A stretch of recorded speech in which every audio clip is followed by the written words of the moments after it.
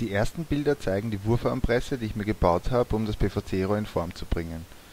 Man kann die Wurfarme aber natürlich auch problemlos mit der klassischen Methode mit einem Brett, mit den Abstandhaltern äh, flach drücken und die Recurves dann über einen Topf oder so biegen.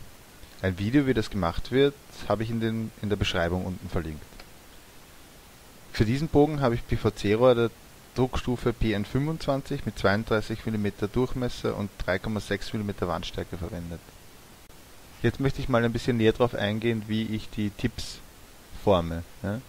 Ich zeichne mir einfach die Spitzen ungefähr an und säge sie ähm, ganz grob zu. In meinem, also wenn ich, ich verwende dafür eine Stichsäge und da ist es wichtig, dass man ein Metallsägeblatt verwendet und kein Holzsägeblatt, ähm, weil das Holzsägeblatt zerfetzt das Rohr so richtig. Da sind die Zacken einfach zu, zu scharf, also zu, zu grob.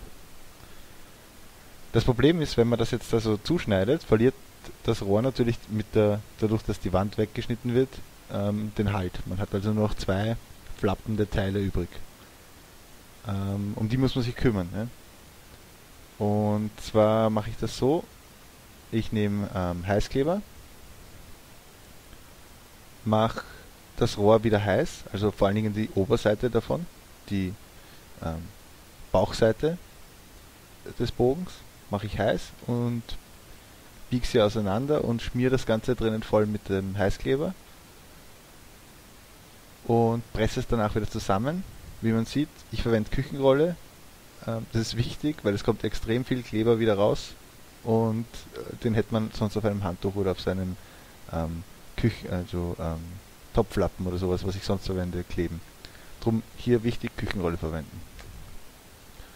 Danach feilt man, also raspelt man und feilt man und schleift man das Ding in Form und ist eigentlich fertig, bis auf die Sehnenkerben.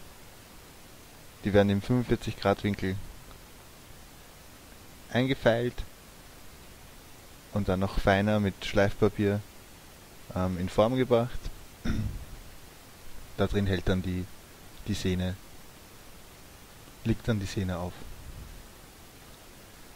Damit werden die Wurfarme, also der PVC-Teil des Bogens, eigentlich mal fertig und man kann sich um das Holzmittelteil kümmern. Für das Holzmittelteil habe ich mir im Baumarkt tropisches Hartholz besorgt. Das ist eine 2 Meter Latte, die für die Unterkonstruktion für äh, Terrassenbau verwendet wird. Das sind 4 x 6 cm sind die Ausmaße. Ähm, Davon schneide ich mir ca. 40 cm ab und markiere mal die Mitte und markiere dann jeweils vom Rand weg 8 cm, wo dann später die Wurfarme aufliegen sollen. Dann male ich mir auch schon mal grob ja, ähm, an, was ich so raussägen kann. Also die dort, wo die Wurfarme aufliegen, soll es etwas flacher sein. Deswegen nehme ich links und rechts eben diese Dreiecke weg. Und in der Mitte, was man da sieht, das wird dann mal das Bogenfenster. Ähm, auf der hochgedrehten Seite male ich mir ungefähr den Griff an. Aber eben wirklich alles nur ungefähr.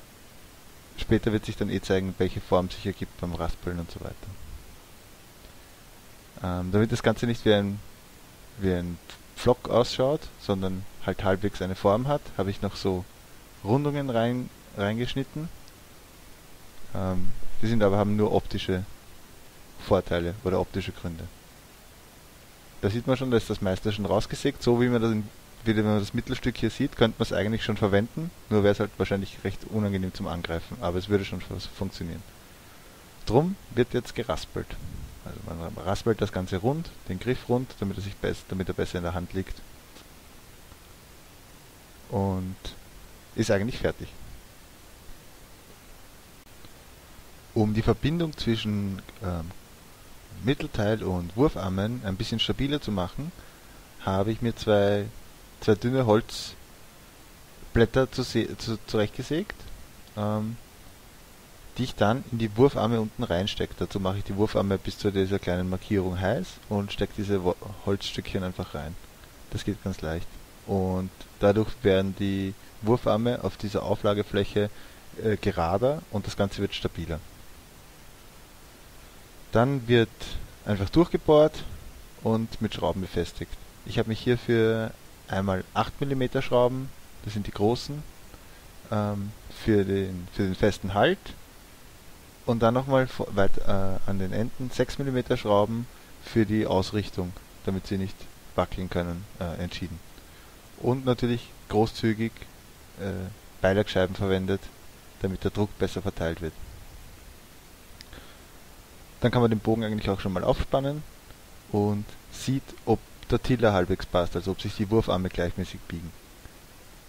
Ist das nicht der Fall, kann man noch nachbiegen. Ja? Also man kann das noch nachjustieren, indem man zum Beispiel den, einen Wurfarm, der sich nicht stark genug biegt, im aufgespannten Zustand ein bisschen erhitzt, dann biegt er sich noch nach, damit das Ganze regelmäßig wird.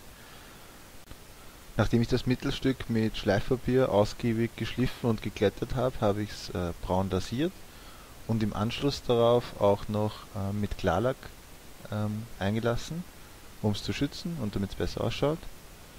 Und die Wurfarme habe ich grundiert und einfach mit einem schwarzen matten Spray ähm, besprüht.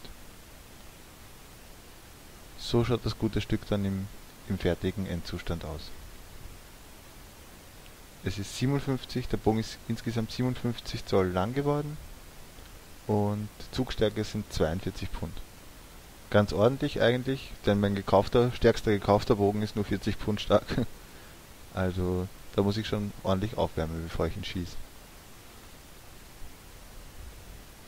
Ähm, die Pfeilauflage ist ein bisschen zu klein geworden, weil ich nicht mehr genug Lederrest über hatte. Aber funktioniert auch ganz gut. Hier noch ein kleines Video, wo man den Bogen in Action sieht. Wenn ich ein bisschen unkonzentriert wirke, dann liegt das an den 42.000 Gelsen, die auch unbedingt auf dem Video drauf sein wollten.